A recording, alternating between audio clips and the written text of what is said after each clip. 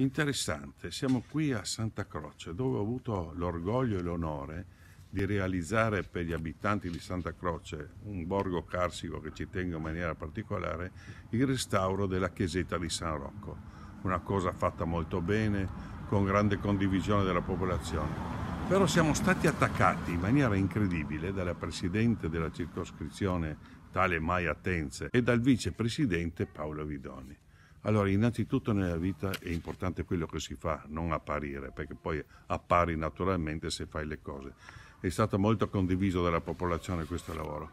E a questo punto questi due signori, in maniera veramente bugiarda e vile, mi hanno accusato che hanno fatto tutto loro. Allora, siccome nella pubblica amministrazione si lavora per atti, questi sono gli atti, questa è la delibera, udite, udite.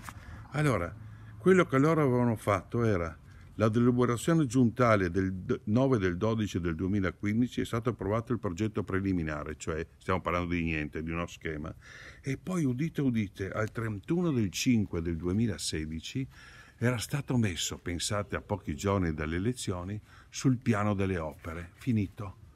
Questo, l'amministrazione precedente non ha fatto nulla. A questo punto arriviamo noi negli anni successivi, al 21 del 3 del 20 del 12 del 16, al 21 del 3 del 17 e vado avanti con le date al 14 del 17, al 29 del 6 del 17, vengono fatti tutte le progettazioni esecutive, le gare e poi la realizzazione. E poi siamo arrivati alla inaugurazione. Ho fatto una conferenza stampa dove la Maia Tenza in maniera vile mi ha attaccato in maniera incredibile dicendo che hanno fatto tutto loro, una bugia gigantesca. E udite, udite, Paolo Vidoni, durante la messa che c'era il vescovo e dove il sindaco non ha parlato per rispetto al vescovo, lo ha interrotto prima dell'inizio della cerimonia e ha parlato per mezz'ora leggendo tre pagine di insulti, ma, ma, queste persone dove credono di essere? La gente non è stupida, la gente vede